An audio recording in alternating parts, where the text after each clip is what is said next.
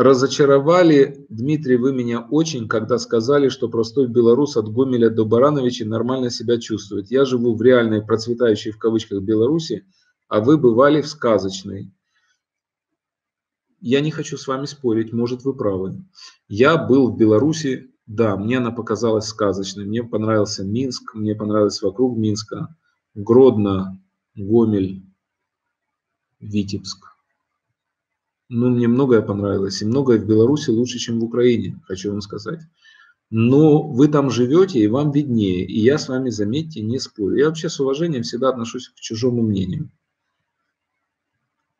Чи змінилося ваше ставлення до Дудя після слів Скрипина? А, нет, я к Дудю отношусь во. Мне кажется, он замечательный. А, Роман Скрипин, кстати, тоже подавал большие надежды. Он был очень хорошим журналистом. С ним в последнее время что-то случилось. Он сошел с ума немножко. От зависти, наверное. Завистливый какой-то стал Рома. Но талантливый парень. Ну, что делать с ним?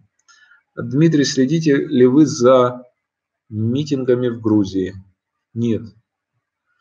Дмитрий, уговорите Дудя. Имеется в виду э, уговорить Дудя на интервью, чтобы он мне дал интервью.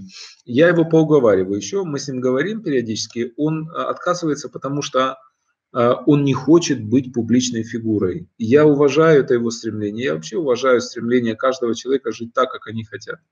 Но, конечно, это было бы интересно, я его еще обязательно поуговариваю. Как вы считаете, у кого лучше качество интервью, у Дудя или у вас? А, вы знаете, я думаю, что об этом э, не должен судить я, об этом должны судить зрители. А, и я вообще думаю, что нас не надо сравнивать, потому что каждый а, представляет интерес, Дудь однозначно представляет интерес, смею надеяться, что представляю интерес и я.